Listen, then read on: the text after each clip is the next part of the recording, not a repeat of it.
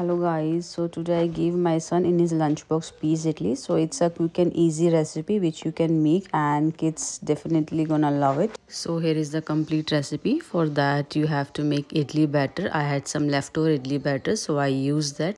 Uh, today i woke up late so this leftover idli batter helped me a lot.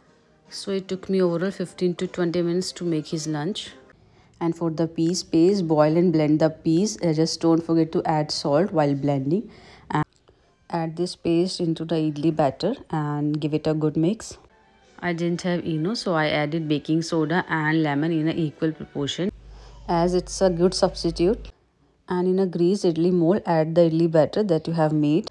And then microwave it for 5 to 6 minutes.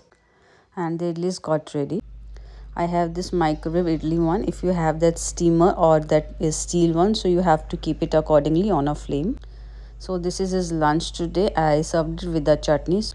So do you make it at home? Do your kids love it? Do comment down below and let me know